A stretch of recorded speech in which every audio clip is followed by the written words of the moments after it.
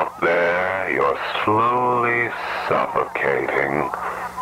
But here, you're safe. The spirit doesn't pass on quite as fast as the body does.